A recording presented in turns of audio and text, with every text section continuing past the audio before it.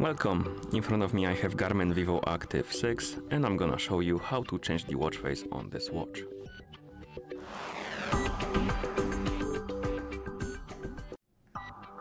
First we need to uh, open the menu on our watch and you can do it by uh, pressing the upper button.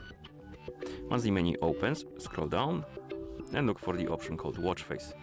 Once you find it, tap on it, it will open the watch face menu and here you can scroll up and down to the list of watch faces.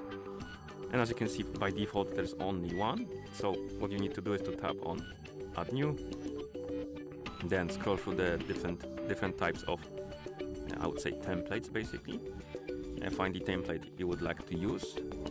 For example let's say this one.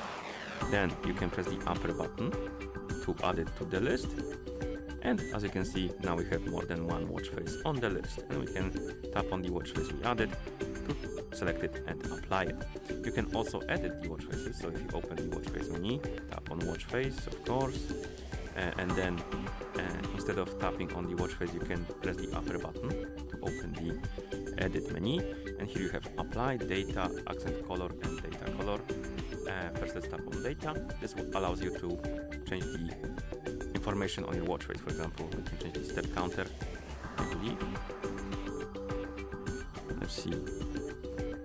Oh yeah we can tap on the data pools and we can change them. So let's say I want to change this one and then we can swipe up and down on the screen to scroll through the list of different data uh, options. And you should also be able to change the steps and the in the date if you want to. It's a bit wonky when you tap on them for some reason but once you tap on them you can change them and then you can press the upper button to confirm and tap on the watch face. Oh no press it again. Then you can tap on apply and the watch face will be applied.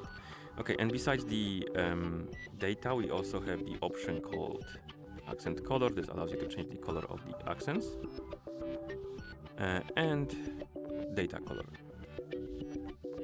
and of course once you're done uh, changing the watch face you can tap on apply to apply it and basically that's how you change the watch face on this watch Thank you for watching. If you found this video helpful, please consider subscribing to our channel and leaving the like on the video.